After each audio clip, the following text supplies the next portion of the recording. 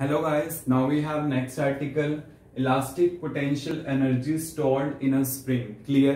तो मीन्स अब हमने डिस्कस करना है जैसे इससे पहले वाले जो आर्टिकल में थी हमने ये डिस्कशन करी थी कि इलास्टिक पोटेंशियल एनर्जी का मीनिंग क्या होता है और उसे मैंने स्प्रिंग का एग्जांपल देके समझाया था कि हाँ कि वहाँ पे इलास्टिक पोटेंशियल एनर्जी का एग्जैक्ट मीनिंग क्या होगा। क्लियर तो अब हमने क्या करना है उन्हीं टर्म्स का यूज़ करते हुए डेरिवेशन करनी है।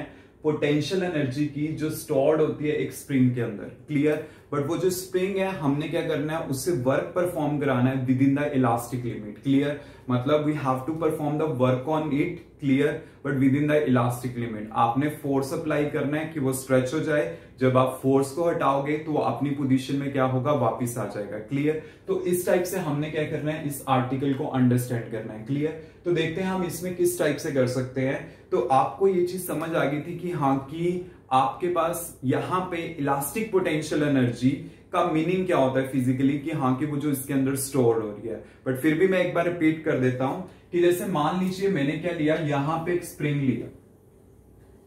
क्लियर आप क्या करते हो? फोर्स अप्लाई करके इसको स्ट्रेच करते हो। जब आप फोर्स अप्लाई करके इसको स्ट्रेच करते हो तो अपोजिट डायरेक्शन में क्या होती है? एक फोर्स सेटअप होती है इक्वल अमाउंट की, जिसे आप क्या बोलते हो? रिस्टोरिंग फोर्स बोलते हो क्लियर और उसी रिस्टोरिंग फोर्स के थ्रू हमने क्या कैलकुलेट करना है?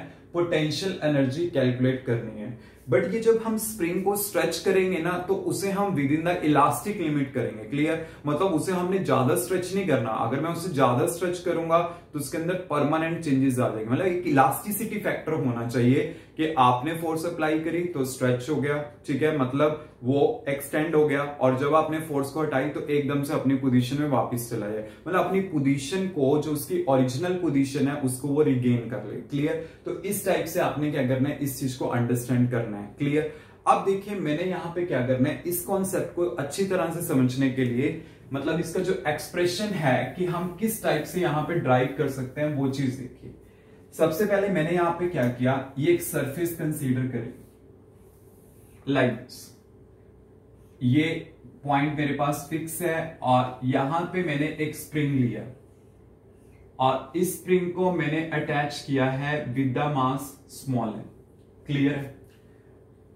अब मैंने इसकी नेक्स्ट सिचुएशन यहाँ पे शो करनी है कि मैंने इसे स्ट्रेच कर दिया। जब मैंने इसे स्ट्रेच कर दिया तो ये मास यहाँ पे आ गया, क्लियर?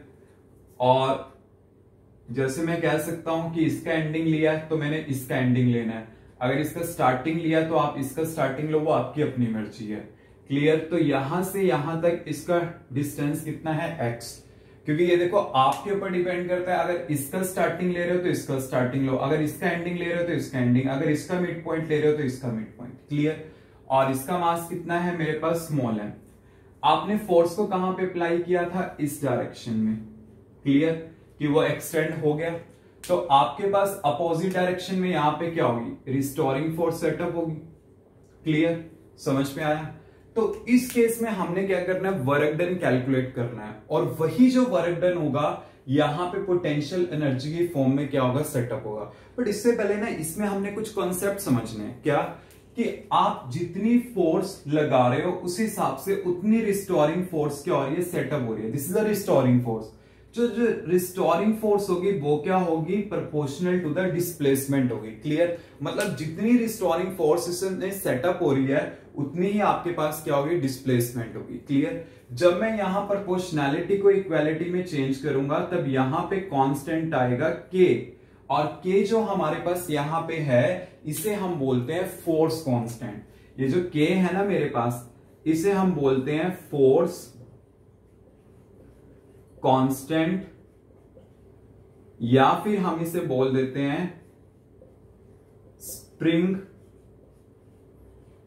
कांस्टेंट क्लियर मतलब जितनी ज़्यादा फोर्स अप्लाई हो रही है, उतनी ही रिस्टोरिंग फोर्स सेटअप हो रही है. क्लियर और ये जो यहाँ पे मेरे पास नेगेटिव साइन है तो यहाँ पे नेगेटिव साइन का मीनिंग क्या है? नेगेटिव साइन यहाँ पे क्या सिग्निफाई करता है कि मान लीजिए, मेरे पास डिस्प्लेसमेंट हो रही है इस डायरेक्शन में तो रिस्टोरिंग फोर्स सेटअप हो रही है इस डायरेक्शन मतलब क्या है? कि आपके पास जो रिस्टोरिंग फोर्स होगी, वो अपोजिट डायरेक्शन में होगी as that of the applied force clear या फिर आप कह सकते हो as that of the displacement मतलब रिस्टोरिंग फोर्स डिस्प्लेसमेंट की क्या होगी? अपोजिट होगी, या फिर वो अप्लाइड फोर्स की क्या होगी? अपोजिट होगी. क्लियर बट अगर मैं एफ़ को क्या ट्रीट करता हूँ? यहाँ पे अप्लाइड फोर्स तो आपके पास यहाँ माइनस नहीं आएगा देन फिर क्या आएगा? प्लस आएगा. क्लियर तो ये है हमारे पास क्या है? स्प्रिंग कांस्टेंट है. अब यहाँ पे मैं स्प्रिंग कांस्टेंट को एक्सप्लेन कैसे कर सकता हूँ, इसकी डेफिनेशन कैसे लिख सकता हूँ?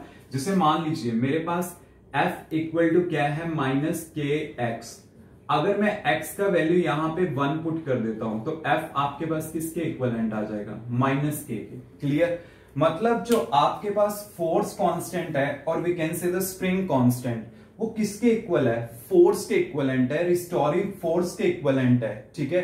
कब? जब स्प्रिंग में कितनी डिस्प्लेसमेंट होगी by the factor of unity मतलब जब उसमें यूनिट डिस्प्लेसमेंट होती है तो जो फोर्स कांस्टेंट होता है, वो किसके इक्वलेंट होता है? रिस्टोरिंग फोर्स के। And this is numerically equal आपको पता है ना न्यूमेरिकल वर्ड जो मैं यूज़ करता हूँ फिजिक्स में, वो मैं कब यूज़ करूँगा? जब नेगेटिव साइन होता है, क्योंकि न्यूमेरिकल का मतलब मैंने इसका मैग्नीट्यूड ले लिया तो वो नेगेटिव को कंपनसेट कर देगा। अगर वो नेगेटिव को कंपनसेट कर देगा तो एफ़ किसके इक्वलेंट आ जाएगा? के के।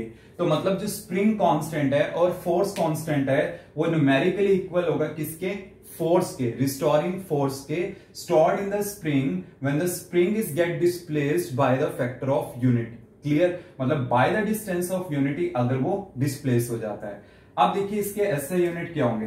आपके पास जो के है वो एक तरह से क्या है? माइनस एफ़ बाई एक्स है तो ये मेरे पास क्या हो गया? न्यूटन पर मीटर।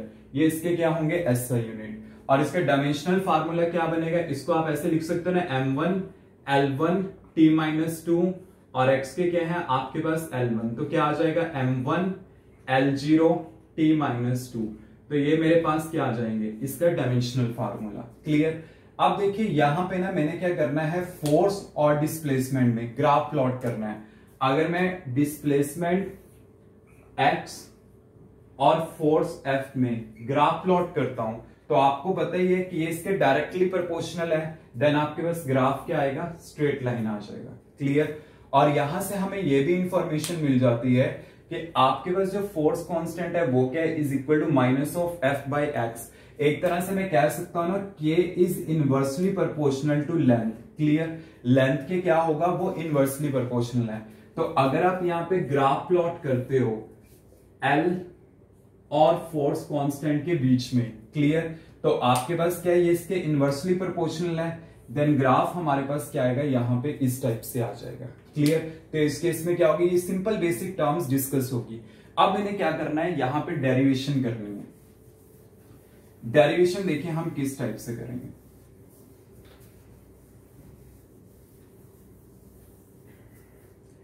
देखिए, हमें यह चीज़ पता है कि मैंने एनर्जी कैलकुलेट करनी है और एनर्जी के लिए पहले वर्क डन और वर्क डन से पहले small amount of work done clear तो आपको पता है कि यहाँ पे small amount of work done क्या होगा? डी डब्ल्यू इक्वल टू क्या होगा?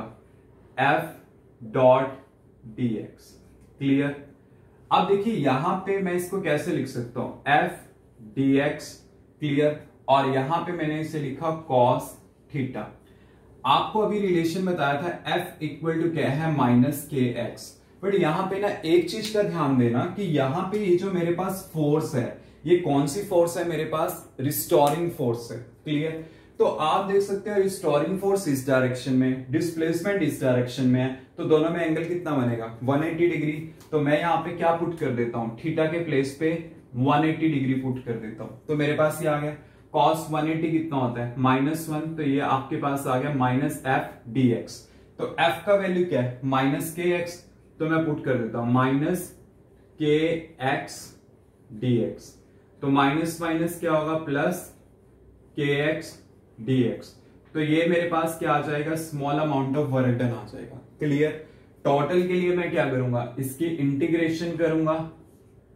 के एक्स डी एक्स और इंटीग्रेशन कहाँ से होगी? पहले डिस्प्लेसमेंट ज़ीरो थी, और मैं एक आर्बिट्रेरी डिस्टेंस मतलब किसी डिस्टेंस एक्स तक गया. तो मेरे पास ये आ गया. अब मैंने क्या करना है यहाँ पे? के को कॉमन ले लेना है. और यहाँ पे क्या होगा? Zero to X X into D X अब इसका क्या होता है? एक्स स्केयर बाई टू आप तो प्रैक्टिस हो ही चुकी है। तो यहाँ पे X square by two and from zero to X ये मेरे पास आ गया। और आप क्या पुट करोगे? अपर माइनस लोअर लिमिट तो मेरे पास यहाँ पे क्या आ जाएगा? हाफ़ के एक्स स्केयर तो ये मेरे पास वर्क डन आ जाएगा, जो स्प्रिंग के अंदर क्या हो जाएगा? स्टोर हो जाएगा। तो यही मेरे पास क्या होगा? वर्क डन होगा। और इसको मैं ऐसे भी लिख सकता हूँ this work done is equal to the potential energy क्योंकि एक पर्टिकुलर पोजीशन के कॉरेस्पॉन्डिंग है। तो क्या एक्सप्रेशन आएगा आपके पास? Half of K X square और इससे ना हमें यहाँ से एक नॉलेज ये भी मिलती है, अगर मैं यहाँ पे ग्राफ प्लॉट करता हूँ। एनर्जी के लिए जैसे मैं ग्राफ प्लॉट करता हूँ ये ये मान लीजिए पोटेंशियल एनर्जी है and this one is a displacement X और अगर आपके पास डिस्प्लेसमेंट होती है zero X equal to zero तो पोटेंशियल एनर्जी क्या होगी? ज़ीरो होगी। मतलब पॉइंट मेरे पास यहाँ पे आ जाएगा। जब ये एक्स डिस्टेंस मैक्सिमम होगा तो पोटेंशियल एनर्जी मैक्सिमम तो मतलब एक तरह से आपके पास क्या आ जाएगा? इस टाइप का ग्राफ आ जाएगा। लाइक like दिस मतलब यहाँ पे ज़ीरो के अबाउट ज़ीरो अदरवाइज़ क्या होगी? मैक्सिमम होगी। और अगर मैं यहाँ पे किसको शो करना चाहता हूँ? काइनेटिक एनर्जी को। तो काइनेटिक एनर्जी क्या होगी? आपके पास इससे अपोजिट चलेगी। लाइक like आप उसको ऐसे शो कर सकते हो। लाइक like दिस मतलब जहाँ पे आपके पास क्या होगी? पोटेंशियल एनर्जी मिनिमम होगी, वहाँ पे काइनेटिक एनर्जी मैक्सिमम होगी। ताकि टोटल एनर्जी क्या रहे? सेम बिकॉज़ यू नो ना total energy is sum of the kinetic and the potential energy और आपको पता है, जहाँ पे मेरे पास ये जो होगी, ये क्या होगी? पोटेंशियल एनर्जी और यहाँ पे जो मार्क आपके पास है किसके लिए है? काइनेटिक एनर्जी के लिए। तो जहाँ पे पोटेंशियल एनर्जी मिनिमम है, वहाँ पे काइनेटिक एनर्जी मैक्सिमम और अगर मैं यहाँ पे ये प्लॉट कर दूँ तो ये आपके पास क्या होगी? टोटल एनर्जी तो वो हमेशा क्या रहेगी? कांस्टेंट रहेगी। मतलब इस टाइप से हम क्या कर सकते हैं? शो कर सकते हैं। Clear but this point represent the maximum amplitude मतलब जैसे आप इसका मान लो, यहाँ पे माइनस ए है और यहाँ पे प्लस ए है। ठीक है? तो मैक्सिमम वैल्यू को इसकी रिप्रेजेंट करेंगे। तो इस टाइप से हम क्या कर सकते हैं? इस फैक्टर को डिस्कस कर सकते हैं। क्लियर तो मेनली ग्राफ करना इतना इंपॉर्टेंट नहीं है but the derivation is very very important from examination point of view clear any doubt